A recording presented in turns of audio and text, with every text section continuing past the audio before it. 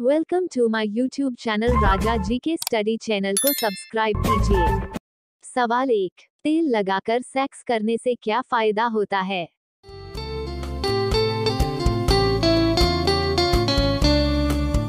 जवाब, दर्द कम होता है। सवाल दो, लड़की को पेलने से पहले क्या करना चाहिए?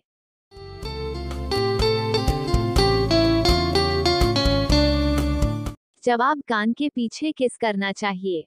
सवाल तीन, संभोग करते समय पूरा लिंग अंदर कैसे डालें?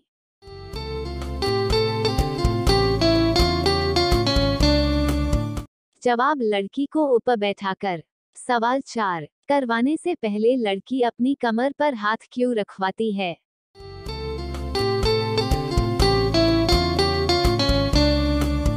जवाब, ताकि लिंग पूरा अंदर तक जा सकें।